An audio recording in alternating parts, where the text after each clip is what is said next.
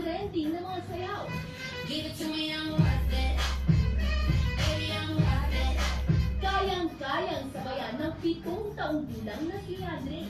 Sa sobrang galing sa paghataw, kahit mga professional dancers, kayang-kaya niyang sabayan.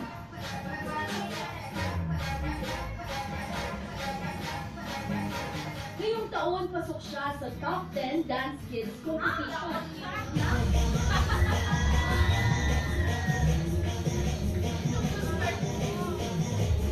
Dahil sa galing sa paghataw, hindi na sorpresa na viral hit lahat ng kanyang dance videos.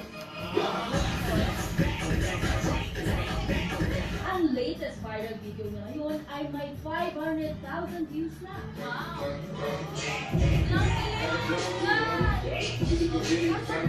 Dahil kaya sabayan natin sa si Yan live sa mga bagamunin na pamilya. Ayan,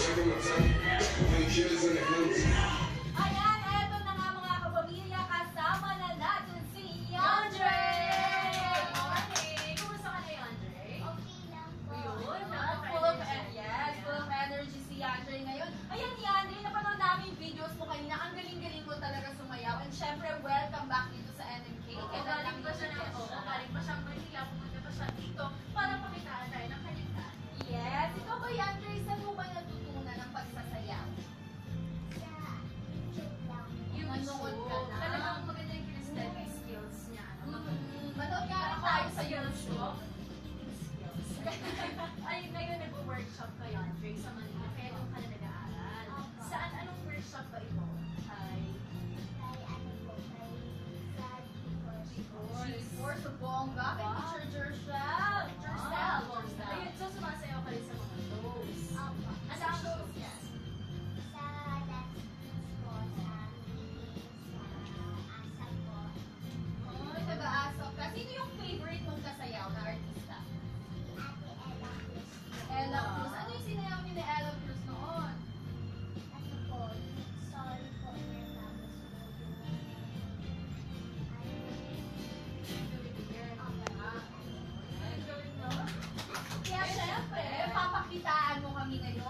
Syempre, nabilib kami sa iyong mga videos. Gusto naman namin mabilib ngayon sa iyo. Live na live